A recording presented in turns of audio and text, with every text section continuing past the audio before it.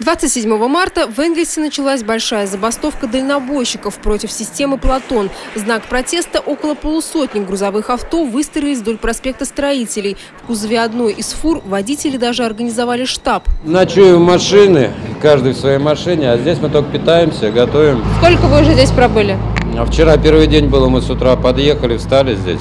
Лозунгов у нас нет, требований нет, транспарантов нет. Требование только одно, хотелось бы, конечно, чтобы на нас обратили все-таки внимание, на нашу безысходность. Деваться нам уже некуда. Среди машин на ходу стоят и фуры, подготовленные для утилизации. По словам грузоперевозчиков, купить новый автомобиль многим непосредством, ведь его стоимость начинается от 6 миллионов.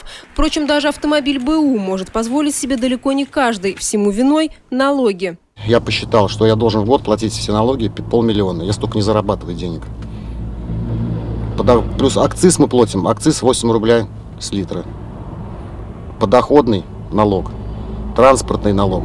Получается, что с одной овцы сдирают три шкуры. Это просто нереально.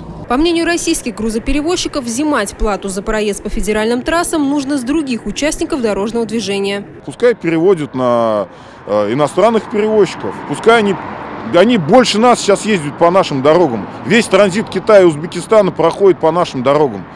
Э, пускай они платят за наши дороги. Почему мы должны платить? Они только портят наши дороги, а в нашу казну они ничего не приносят. Сейчас протестные акции дальнобойщиков проходят по всей России. В апреле этого года правительство планирует увеличить тариф системы «Платон» вдвое – до 3 рублей 6 копеек за километр. По словам грузоперевозчиков, в итоге это приведет к повышению конечной цены товаров.